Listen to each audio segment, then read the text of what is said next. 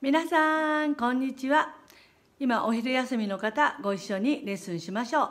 そしてご飯食べたばっかりの方はちょっと後で動画見て一緒に行っていきましょう。さあご自分の体で気になることがありますか？あ私の自己紹介忘れてました。作家でヨガ講師の過去です。年齢なんて関係ない。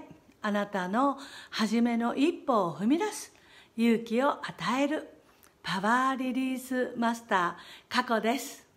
はいそれではね今日ね肩周りが凝ってる方多いかと思うので肩周りのあの凝りをほぐす方をにフォーカスしてレッスンを行ってまいります。それではよろしくお願いします。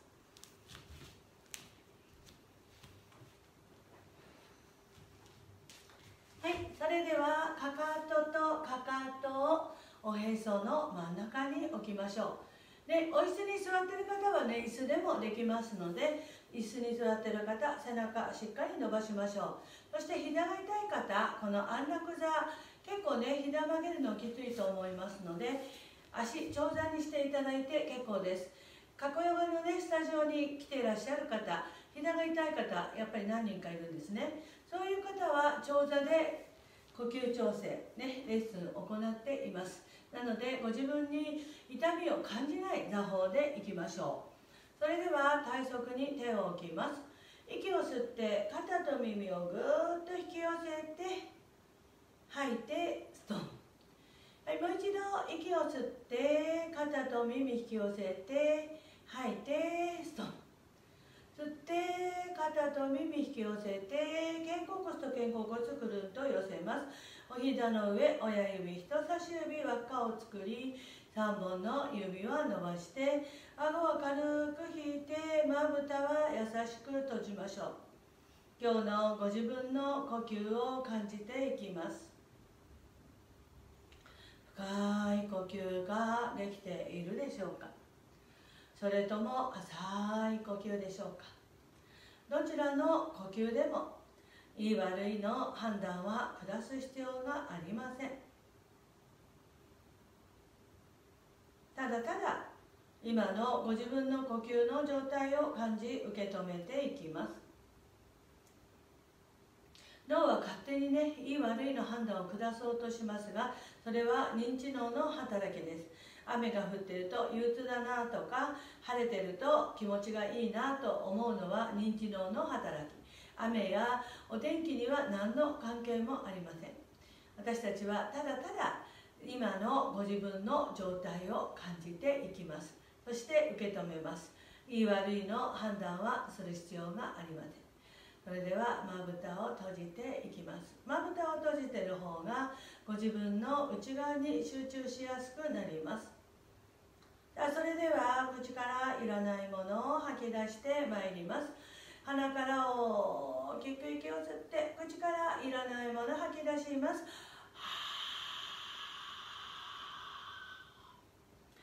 大きく息を吸って嫌なこと辛いことイライラすること全部口から吐き出します。大きく息を吸って腹が立ったこと悲しかったこと全部口から吐き出します。それではヨガの完全呼吸を行います。鼻から吸って鼻から吐き出してまいります。鼻から大きく息を吸います。お腹を膨らませます。鼻から細く長く吐きます。おへそ内臓の奥にぐっと引き込みます。吐き切ります。大きく息を吸います。お腹を膨らませます。鼻から細く長く吐きます。おへそ内臓の奥にぐっと引き込みます。吐き切ります。大きく息を吸いましょう。お腹を膨らませます。鼻から細く長く吐きます。吐き切ります。大きく息を吸います。お腹を膨らませます。鼻から細く長く吐きます。吐き切ります。その薄いお腹のまま。今度は胸に新鮮な空気を取り込みます。胸を大きく広げましょう。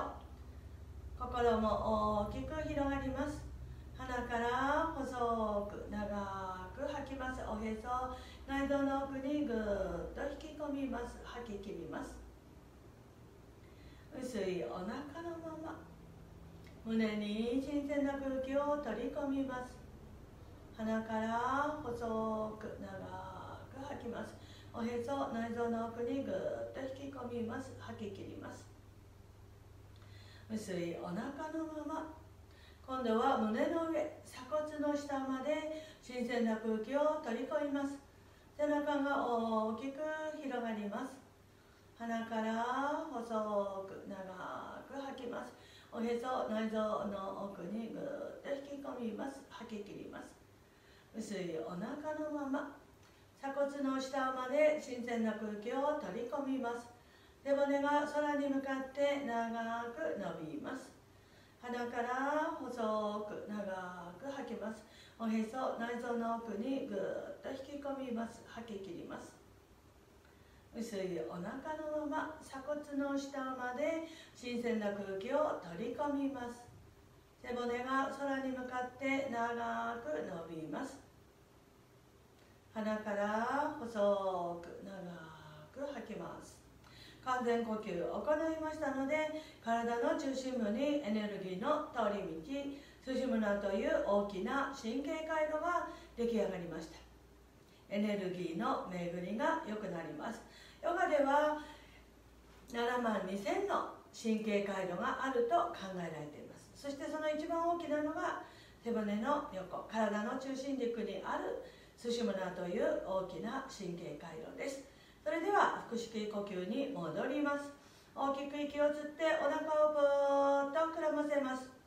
鼻から細く長く吐きます。おへそ内臓の奥にぐーっと引き込みます。吐き切ります大きく息を吸いましょうお腹を膨らませます。鼻から細く長く吐きます。おへそ内臓の奥にぐーっと引き込みます吐き切ります。吐き切ったら薄いお腹のまま。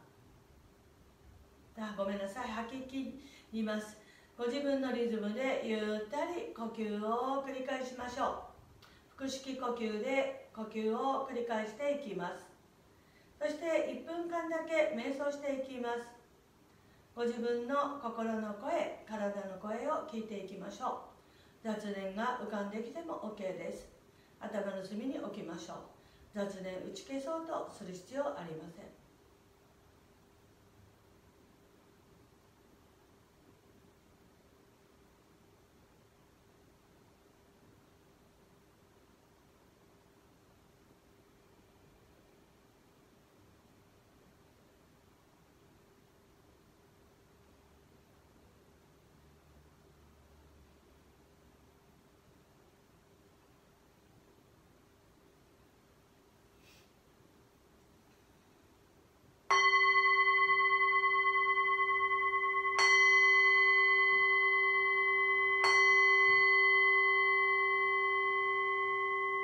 それではジムドラ開いて胸元で合唱します。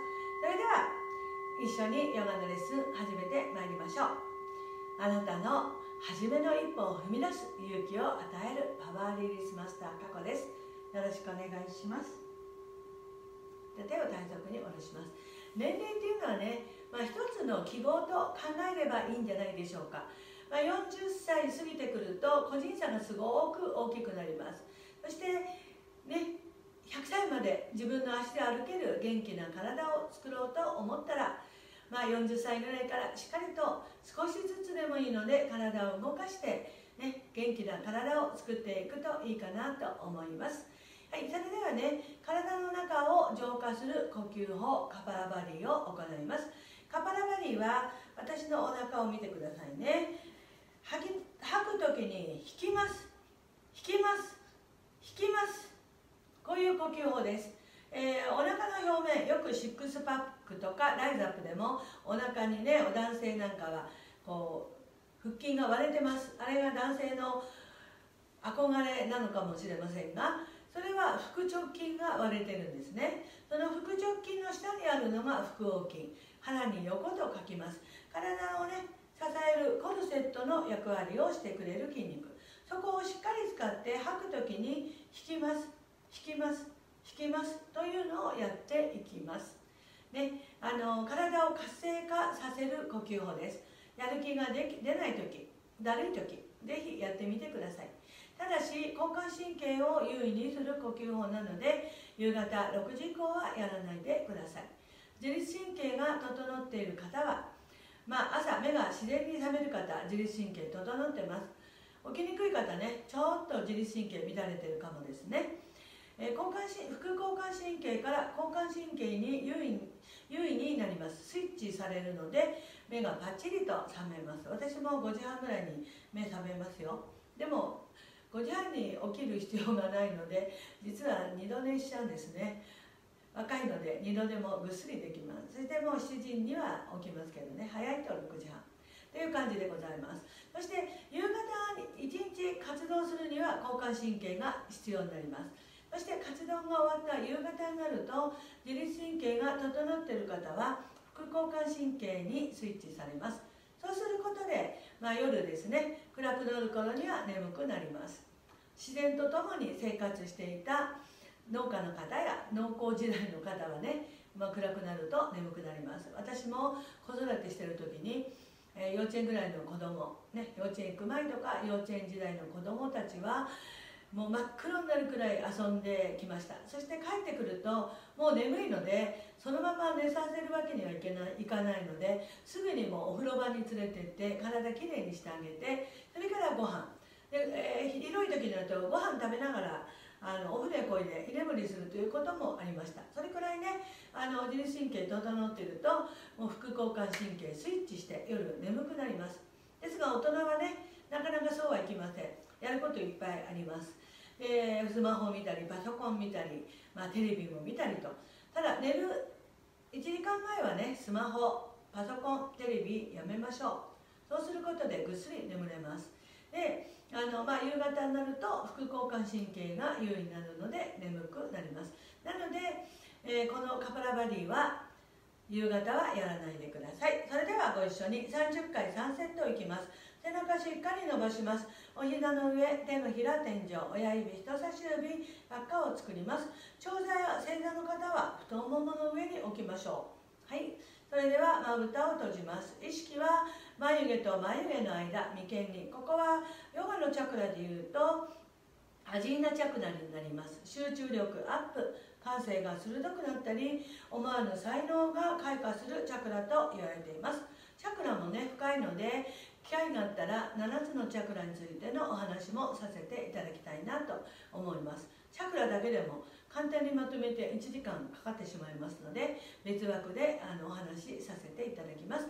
それではご一緒にいきます。まぶたを閉じて背中しっかり伸ばしてまず深呼吸します。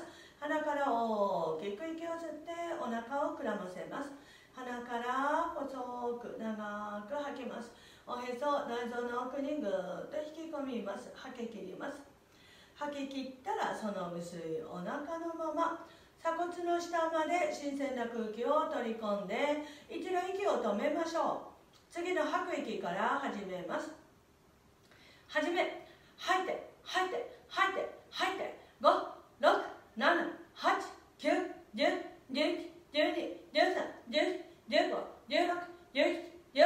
567891011213141516171819 56789101112131415201627282930はいやめて。鼻から大きく息を吸ってお腹膨らませます。鼻から細く長く吐きます。おへそ内臓の奥にぐっと引き込みます。吐き切ります。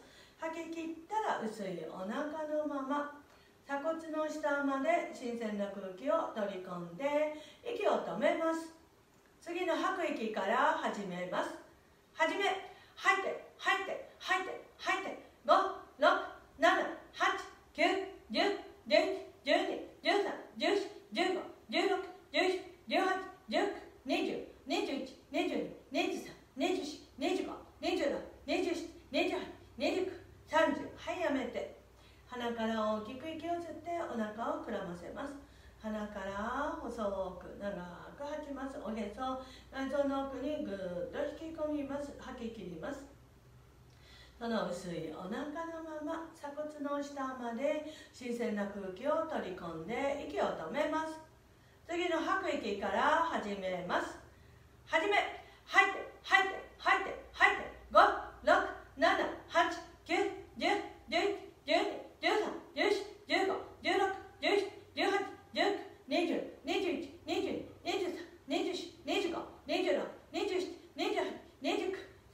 はいやめて鼻から大きく息を吸って吐きます。カパラバディを行った後のご自分の心と体の変化を感じます。吸う息でまぶた開けます。ちむどらもほどいていきますどうですか？体の中ねあったかくなっていないでしょうか？手のひらももう私汗かいてますね。はい。それでは次は交換副交感神経を優位にする呼吸法。アヌローマビローマ行ってまいります。それでは左の手ちむどら。右の手は人差し指中指折り曲げて右の小鼻に親指薬指開けます。左から4個間息を吸い続けます。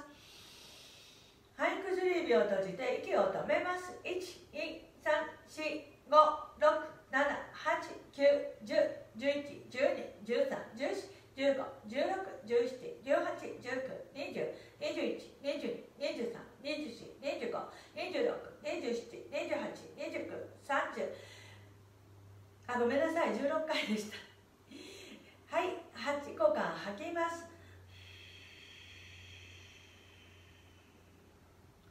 はい右から4個間息を吸います親指閉じて16個間息止めます。12345678910111213141516薬指外します。左から8個間細く長く吐きます。これで1セット。左から4個間息を吸います。薬指を閉じて16個間息を止めます。12345678910111213141516親指外します。右から8個間細く長く吐きます。右から4個間息を吸います。親指閉じて息を止めます。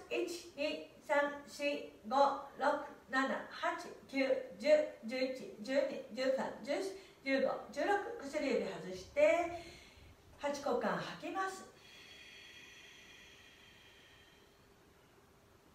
吐き切ったら左から4個間息を吸います。薬指を閉じて息を止めます。12345678910111213141516親指外します。右から8個間吐きます。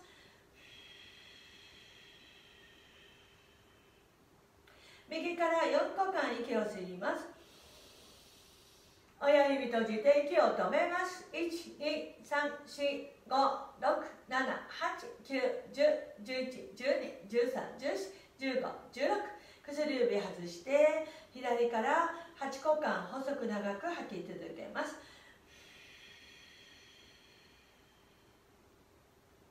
吐き切ったら右の手外します。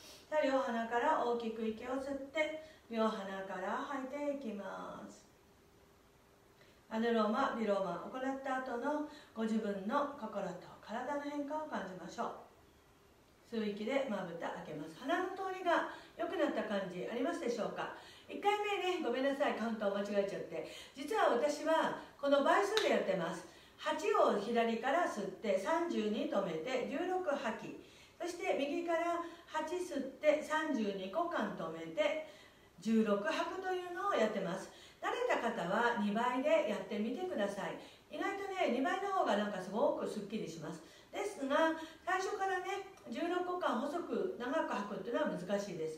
私も最初はやはりあの4吸って16止めて8吐くというのをやってました。なのでご自分のあの進化に合わせて変えてみてください。はい。それではね肩周りから肩周りをほぐします。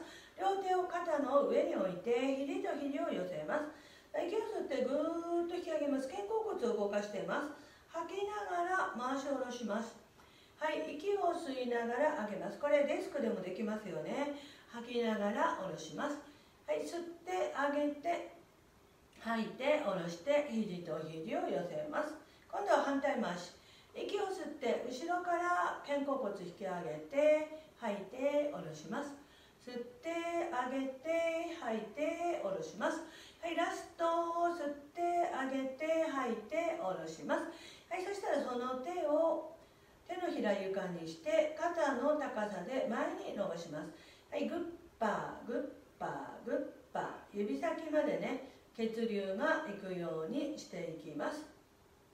はいでは動きを止めたら手のひらを返して息を吐きながらはい脇を締めて肘を曲げて後ろに肩甲骨をぐーっと寄せます。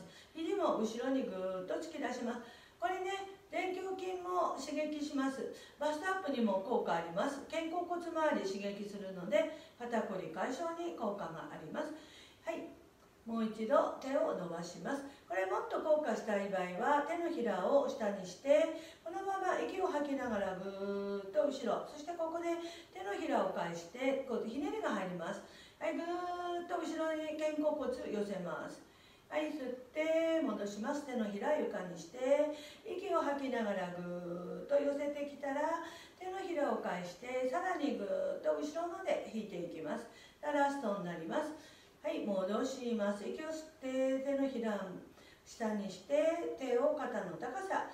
息を吐きながらぐーっと後ろに引きながら手のひらを返して肩甲骨と肩甲骨後ろで寄せます。はいストンストーンと下ろします。ストーンと下ろしたら今度はマットに右の手をつきます。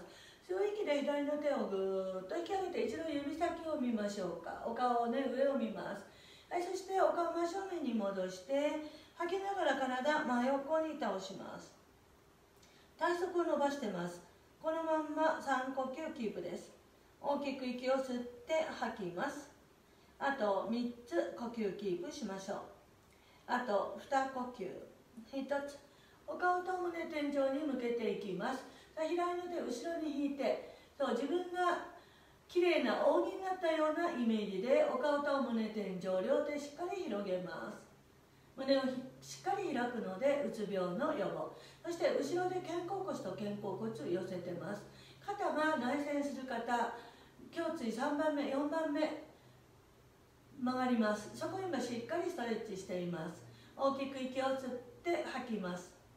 あと3つ呼吸キープしましょう。あと2呼吸。一つ。はい体戻します。頭の上に軽く手を乗せてさあ吸う息で背骨をしっかり伸ばしたら吐きながら背骨はまっすぐのまま頭だけ頸椎だけ頸椎7本ありますね。はい頭倒していきます。首のこりを頭の重さを使ってほどいてます。頭の重さはご自分の体重の10分の1です。あと3つ呼吸キープしましょう。あと2呼吸。1つ。はいお顔まっすぐ戻します。右後頭部に手を置き換えて吐きながら頭を左の膝の方に倒します。はいそうすると頭の重さで右斜め後ろの筋肉伸びてるかと思います。ズッキンズッキンと痛む。緊張性型頭痛解消に効果があるポーズです。このまんま3呼吸キープです。大きく息を吸って吐きます。あと3つ呼吸キープしましょう。あと2呼吸。1つ。はい吸う息でゆっくり体戻します。マットに左の手をつきます。はい右の手ぐっと引き上げて一度指先見ましょうか。顔まっすぐ戻して吐きながら体左側右の体側をぐっと伸ばします。体側って結構ねあの縮めてますよね普段。伸ばすことで疲れを取ります。大きく息を吸って吐きます。あと3つ呼吸キープします。あと2呼吸。1つ。はい息を吐いてから吸う息でお顔と胸天井ぐーっと胸開きます。後ろで肩甲骨と肩甲骨寄せるようなイメージでしっかり手を後ろに引いていきましょう。両手が一直線になるところでキープします。大きく息を吸って吐きます。あと3つ呼吸キープしましょう。あと2呼吸。1つ。はい体まっすぐ戻します。頭の上に軽く手を乗せて吐きながら頭倒します。右真横に左の首のこりをほどきましょう。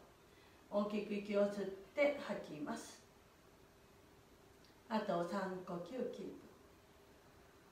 あと2呼吸。1つ。吸う息で体戻します。後頭部に手を置きます。左後頭部に手を置いて吐きながら頭を右の膝の方に近づけます。意外に首周り凝ってるんですよね。で首こりをほどほどくと肩こりもね楽になります。大きく息を吸って吐きます。あと3呼吸キープ。あと2呼吸。1つ。ゆっくりと体を起こしてはい手を下ろします。息を吸いながらゆっくり引き上げましょう。頭の上で合掌。はい背骨をぐーっと引き上げます。指先天井を見ていきます。伸びます。息を吐きながらゆっくり立ちましょうです。はい背骨をぐーっと引き上げます。両手を組みます。手のひら返します。はい。息を吐きながら耳斜め後ろにぐーっと持ってきます。首の後ろはまっすぐですよ。手だけ後ろ。でこれ耳のところしかいかない方ね。肩周りの筋肉がかなり凝ってますよ。あの肩こりの目安になりますね。はい。戻します。もう一度吐きながら耳斜め後ろぐーっと。後ろ後ろ後ろ。はい。吸って真ん中に戻します。もう一度。吐きながら斜め後ろです。はい吸って真ん中に戻したらその手をゆっくり下ろして肘と肘を寄せて側頭筋締めて吐きながら頭下げましょう。頭の重さで首の後ろの筋肉ですね。腕状筋。首から肩の上の方に広がっている僧帽筋をストレッチです。このまま3呼吸キープです。大きく息を吸って吐きます。あと3つ呼吸キープしましょう。あと2呼吸。1つ。息を吸ってお顔と胸を天井に向けていきます。脇肘広げます。後ろで肩甲骨と肩甲骨寄せましょう。このまんま3呼吸キープです。大きく息を吸って吐きます。あと2呼吸。1つ。はい手をゆっくり下ろします。で手がね綺麗な方。ちょっと目の周りマッサージします。まずははい合掌の手をね手を合わせたらすり合わせて手のひらあったかくしていきます。あったかくなりましたでしょうか。はいそしたらお椀の形を作って目の上に乗せます。目の疲れを取っていきましょう。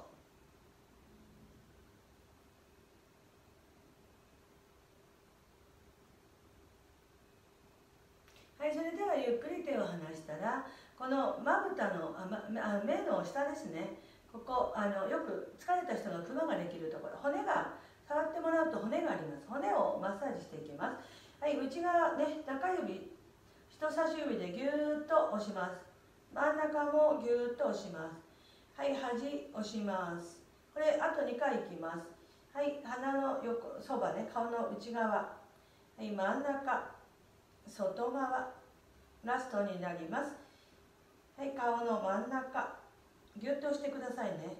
骨を押しますよ。真ん中。外側。このねクマができるところ。血行が悪くなるとクマもできやすいのでクマの予防にもなります。親指を立てて前頭をぎゅーっと下から突き上げるように骨を押します。こツボがありますからね。はい真ん中。眉尻下から骨を押し上げます。眉頭。真ん中。眉尻あともう一回眉頭真ん中眉尻。そしたら人差し指三角にして眉頭に当てたら息を吸っておでこをぐーっと引き上げて生え際までいったらこめかみまで下ろしてはいここねこめかみをグリグリグリグリと痛いくらいマッサージしてぎゅっと押しましょう。息を吸って5秒キープです。54321吐いて緩めます。あと2回いきます。前柱ぎゅーっと生生え際まで。そしてこめかみまで下ろしたらこめかみぐりぐりぐりぐりっとマッサージしてはいぎゅーっと押して5秒。54321吐いて緩めます。さあラストになります。はいぐーっと引き上げて生え際こめかみまで下ろしたらはいぐりぐりぐりっとマッサージ。ぎゅーっと押して5秒キープ。54321はい緩めます。どうでしょうかね？少し楽になってますか？で目をね動かしていきますね。目の疲れも肩こりになりますからね。はいそれでは顔は動かしません。目の玉だけ動かします。まず上下上下上下上下。右左右左。右左。回します。上右下。左上。右下左上右下左反対回ししていきます。上左下右上左下右上左下右。で目と口をぎゅーっと閉じて体の中心に力を集めるようなイメージで。次の吐く息で目と口を大きく開けます。パッ！思いっきり口も開いてくださいね。もう一度いきます。目と口ぎゅーっと閉めます。目の玉が頭の後ろに行くようなイメージでぎゅーっと前から目を目の玉を押してあげるようなイメージ。次の吐く息で大きく開きます。パッ！さあラストになります。目と口ぎゅーっと閉じて力入れて吐く息でパッ！さあどうでしょうかね。少し目楽になりましたでしょうか。首がねもうちょっとほぐしましょうか。首をゆっくり回します。頭下げます。はい。息を吐きながら後ろにぐーっと回して吸う息で下ろします。息を吐きながら後ろに吸う息で前に戻します。ラスト。右側から左側にぐーっと回して顎を下ろします。反対回し。息を吐きながら後ろに回して吸う息で戻します。吐く息で右側から左吸う息で前に戻します。はいラスト。はいどうでしょうか？それではね足もほどきます。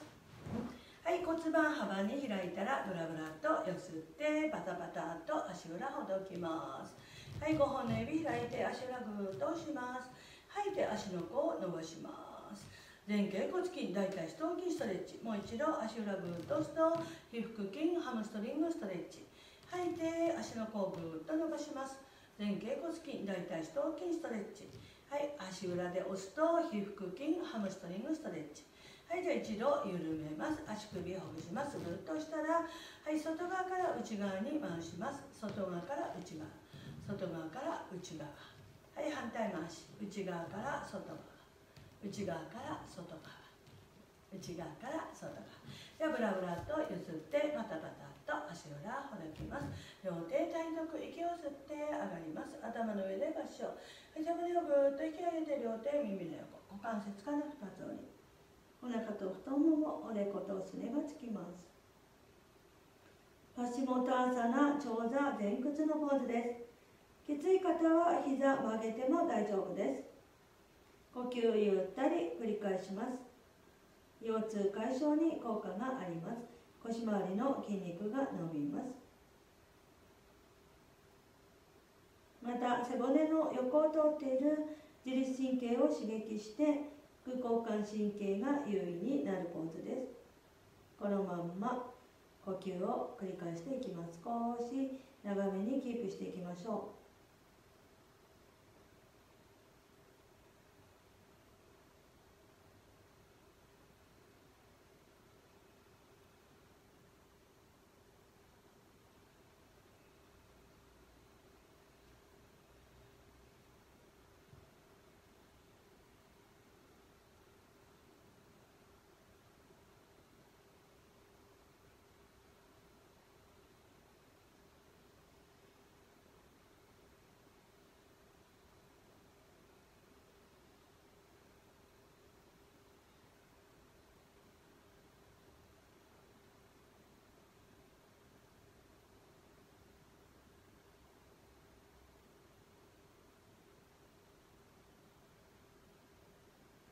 あと3つ呼吸キープしましょう。大きく息を吸って吐きます。あと2呼吸。1つ。はい両手を耳の横。息を吸って上がります。息を吐きながらゆっくり体側に下ろしていきます。体側に下ろしたら足を山形に立ててまたぎます。お膝抱えます。お尻の後ろに手をついて息を吸って背筋を伸ばしておへそお腹胸最後にお顔です。首の後ろを伸ばします。視線は斜め上です。顔を上げませんが視線だけ天井に向けます。内臓にねじることで内臓に深い刺激が入ります。内臓の不調を整えてくれるポーズです。このまんま3呼吸キープです。大きく息を吸って吐きます。あと3つ呼吸キープしましょう。あと2呼吸。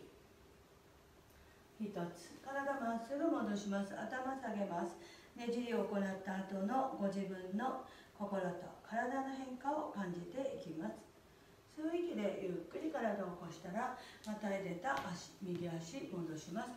左の膝を山形に立てて伸ばしてた足またぎます。はい。右の手で左の膝抱えてお尻の後ろに手をついて息を吸って背筋を伸ばしておへそお腹胸最後にお顔です。あるのは天ドラ朝なねじりのポーズです。吐きながらねじりを深めましょう。視線は斜め上天井です。背を上げることでまぶたの筋肉眼輪筋をね使いますから目がパッチリします。さあしっかりねじりましょう。吐きながらねじります。背骨にもねじりが入って腰痛解消にも効果があります。大きく息を吸って吐きます。あと3つ呼吸キープしましょう。あと2呼吸。1つ。体ゆっくり戻して両手体の横頭下げてねじりを行った後のご自分の心と体の変化を感じます。吸う息でゆっくり体戻して足戻します。はい。四つん這いになりましょう。キャッターカウというポーズで肩甲骨を内転外転骨盤の前傾後傾繰り返していきます。そうすることで肩こり解消。そして腰痛解消に効果があるポーズです。簡単な動きですので毎日ね時間がある時やっていただけるといいかなと思います。息を吐きながら頭を下げて背中をぐっと丸めておへそを見ます。おへそマットに引き寄せてお顔と胸天井にぐーっと上げていきます。吐いて頭下げて背中をぐーっと丸めます。吸っておへそマットに引き寄せてお顔と胸天井。吐いて頭下げて背中を丸めます。はい吸っておへそマットに引き寄せてお顔と胸天井に向けていきます。吐いてフラットに戻ったら右の手一歩前に歩かせます。左の手のひら天井に向けてはい。左の側頭筋肩マットにつきます。はい。そしたら右の手をぐっと天井に上げましょう。お顔は指先天井を見ます。このまんま3呼吸キープします。大きく息を吸って吐きます。あと3つ呼吸キープしましょう。あと2呼吸。1つ。はい、手を足の方に下ろしたら手のひらで床をなぞりながら耳の横頭の先にぐーっと伸ばしていきます。このまんま3呼吸キープです。大きく息を吸ってって吐きます。あと3つ呼吸キープしましょう。あと2呼吸。1つ。お顔の横に手をついたら左の手を抜いて四つん這いに戻ります。四つん這いになったらはい右の足を少し斜め前に出して右の手を上げます。指先天井を見ましょう。このまんま3呼吸キープです。大きく息を吸って吐きます。あと3つ呼吸キープしましょう。あと2呼吸。手をゆっくり下ろして足も戻します。はい今度は反対側いきます。左の手を一歩前に歩かせます。右の手のひら天井に向かって向けてはい左の手の下くぐらせて右の頭の横右の肩がつきます。左の手天井に上げましょう。このまんま3呼吸キープ。お顔は指先を見ます。大きく息を吸って吐きます。あと2呼吸。1つ。手を足の横に下ろして手のひらつけたら床半円をなぞりながら耳の横頭の先にその手を伸ばします。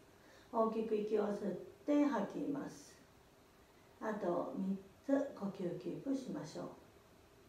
あと2呼吸。1つ。お顔の横に手を置いて右の手を抜きます。左の足斜め前に出してはい手を上げていきましょう。指先を見ます。このまんま3呼吸キープです。大きく息を吸って吐きます。あと2呼吸。1つ。はい手を下ろして足を戻していきます。はいそしたら膝折り曲げて手と手の間に入れて右の足長く伸ばします。お顔と胸ぐーっと天井に上げましょう。腹直筋そして右の腸腰筋ストレッチです。スワンのポーズ。大きく息を吸って吐きます。あと2呼吸。1つ。体倒します。手と手を重ねて頭を乗せます。このまま呼吸を繰り返します。1分間ポーズキープしていきましょう。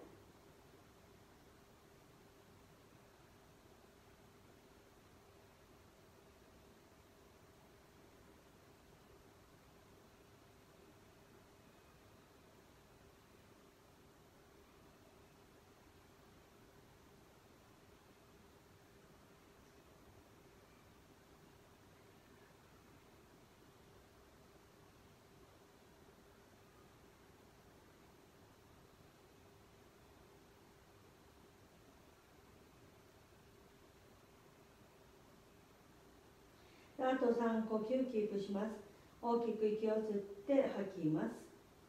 あと3つ呼吸キープしましょう。あと2呼吸。1つ。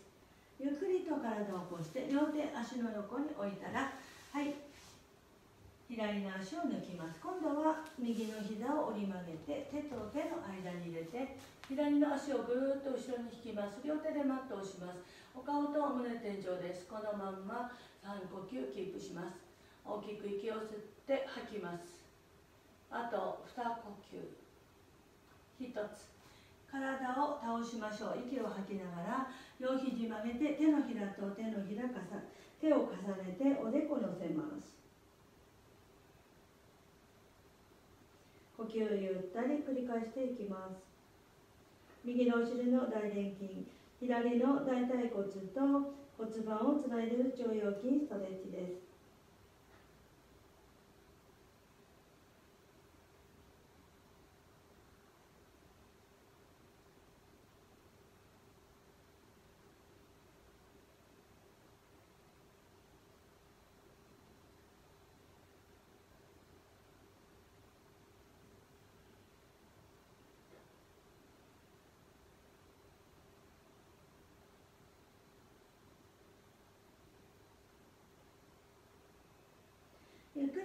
こして両手膝の横に置いて右の足を抜きます。板のポーズクンバカアーサナ。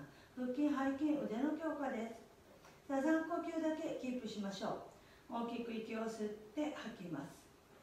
あと2呼吸。1つ。お膝をゆっくり下ろします。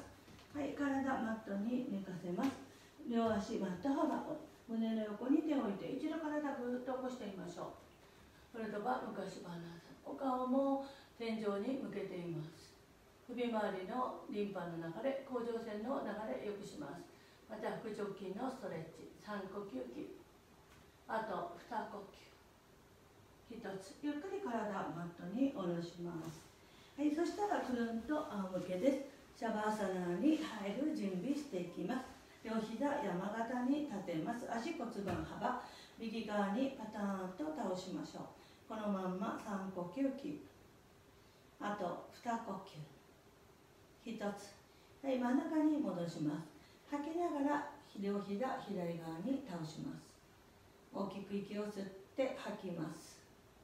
あと3つ呼吸キープあと2呼吸。1つ。はい足真ん中に戻したらお尻をぐっと上げます。お腹と胸が天井です。この腸腰筋大腿四頭筋ストレッチ。そして首の後ろの盤上筋。首から肩の上の方に広がっている僧帽筋ストレッチです。大きく息を吸って吐きます。あと3つ呼吸キープしましょう。あと2呼吸。1つ。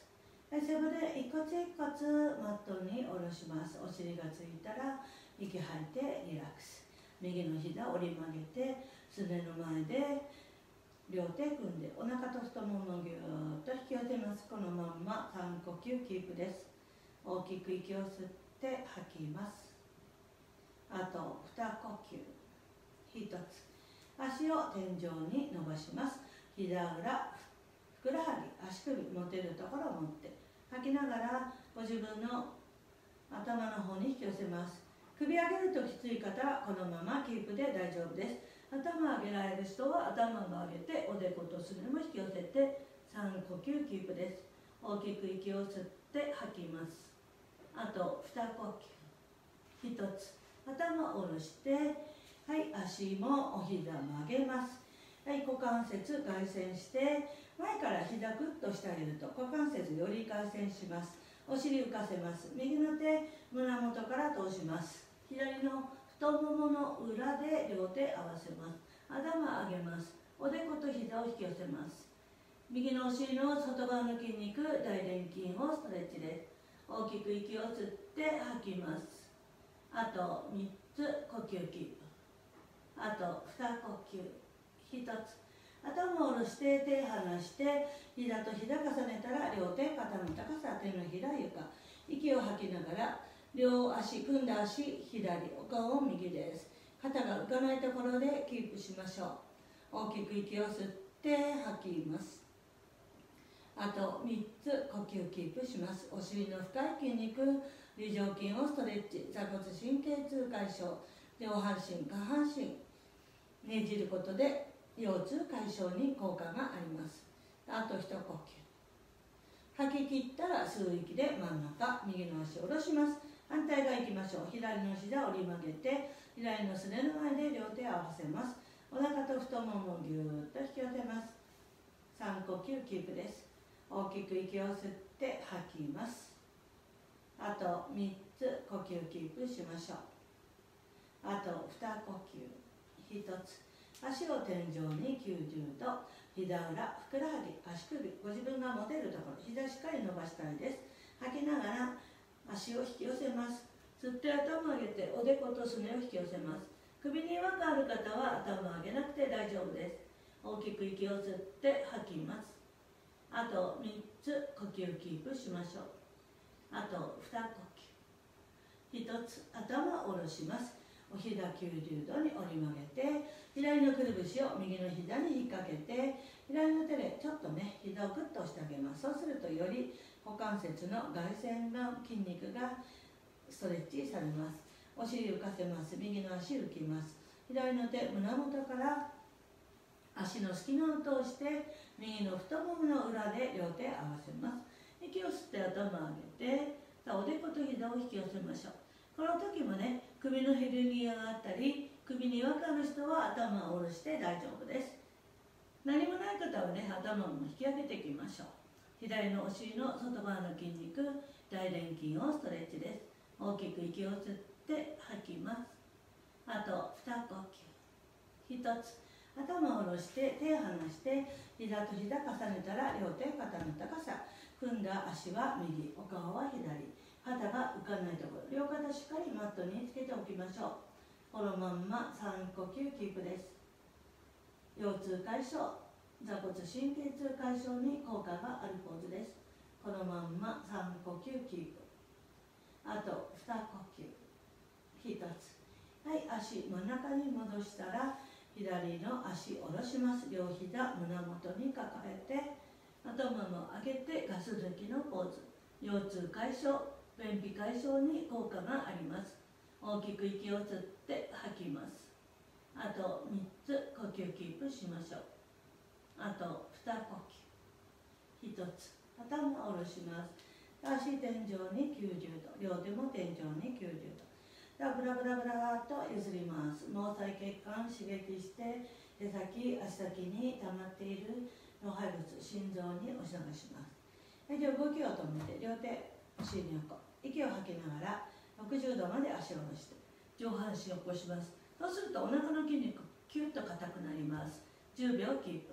10 9 8 7 6 5 4 3 2 1 45度まで下ろします。10 9 8 7 6 5 4 3 2 1 30度まで下ろして両手グーです。腕力入れます。足も力入れます。お腹に力が入ります。首にも顔にも目と口ぎゅっと閉じて10秒キープ10 9 8 7 6 5 4 3 2 1吐いてストーンと両足マット幅脇軽く開けて手のひら天井。腰ゆらゆらゆらと少し動かします。はいお顔もね左右にゆっくりですよ。ゆっくり右左で首周りにね力入ったと思います。満場筋しっかり使ったので緩めましょう。動きを止めます。まぶたは優しく閉じます。最後のポーズシャバーサナです。足首すねふくらはぎ。膝裏お膝。ハムストリング。大腿四頭筋力抜いて。緩めましょう。リラックスします。お尻のほっぺも柔らかくします。背骨一骨一骨マットに重く沈めます。お腹の力今いっぱい腹筋使いました。お腹硬くなったと思います。お腹柔らかくします。胸の力も抜きます。手のひら天井5本の指しっかり伸ばしてくださいね。手首肘腕肩周り力を抜いて床に両手重く沈みます。腰椎5本胸椎12本頸椎7本背骨を一骨一骨イメージで結構です。脊椎24本あります。マットに1本ずつ重く沈めましょう。頭もマットに重く沈めます。奥歯のかみしめほどきます。もう頑張りません。お口小さくポカーンと開けて口周りの筋肉緩めます。ほっぺの力も抜きます。目の力も抜いていきましょう。眉間のしわほどきます。穏やかな表情を作ります。最後のポーズシャバーサナ。呼吸ゆったり繰り返します。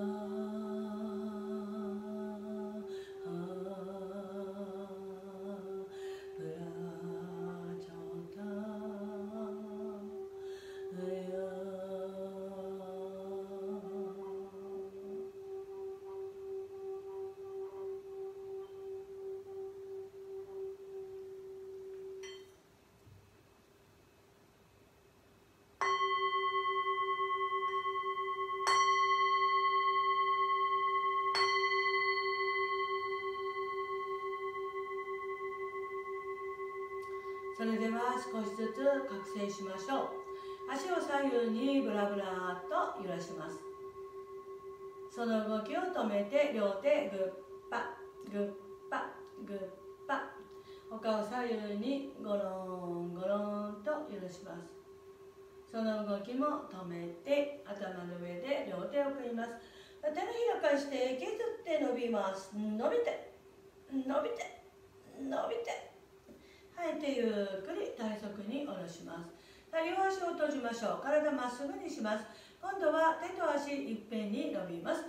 もう一度頭の上で両手を組みます。手のひら返して大きく息を吸って手も足も伸びます。伸びて伸びて伸びて吐いてゆっくり体側に下ろします。両膝山形に立てて胸元に抱えて左右にゴロンゴロンと揺らします。その動きを止めて左側にパターンと倒れます。上半身も下半身も全部左。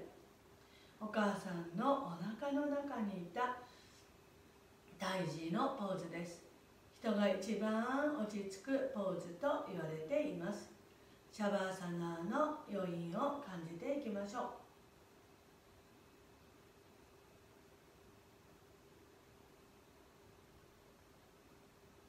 両手で体をサポートして頭一番最後にゆっくり起き上がってください。頭一番最後です。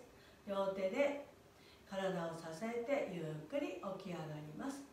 で起き上がったら安楽座長座正座ご自分が背中がまっすぐ伸びる姿勢で座ります。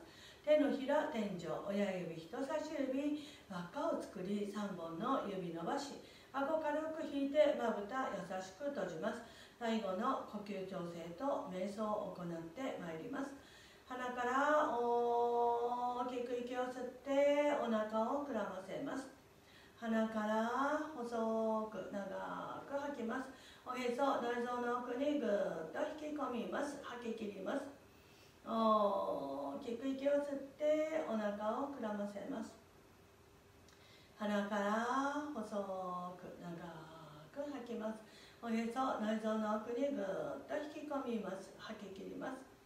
大きく息を吸ってお腹を膨らませます。鼻から細く長く吐いていきます。ご自分のリズムでゆったりと呼吸を繰り返していきます。このまま1分間だけ瞑想していきましょう。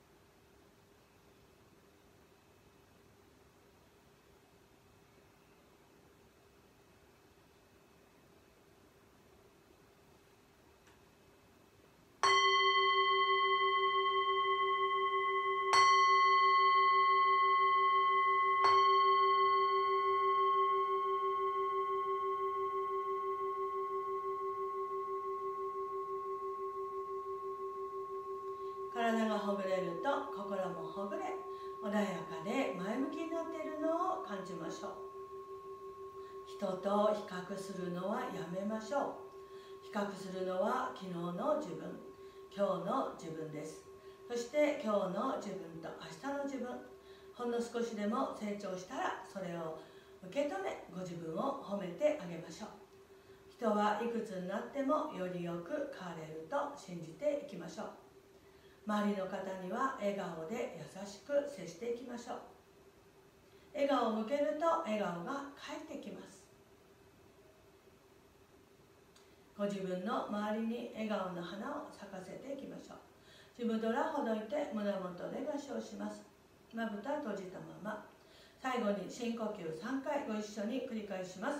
鼻から大きく息を吸っていらないもの全部口から吐き出します。大きく息を吸って愛夢希望。喜び幸せ成功。全部体に取り込みます。怒り悲しみ苦しみ妬み。口から吐き出します。大きく息を吸って。嫌なこと辛いこと悩み事。全部口から吐き出します。吸う息でゆっくりとまぶたを開けていきましょう。それでは今日のレッスンはこれで終わりにします。あなたの初めの一歩を踏み出す。勇気を与えるパワーリリースマスター過去でした。ありがとうございました。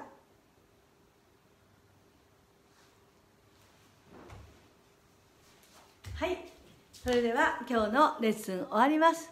お昼休みのひととき。ヨガで体心ほどけましたでしょうか？それではまた明日。朗読ライブとヨガレッスンライブやっていきます。さようなら。素敵な一日にしましょうね。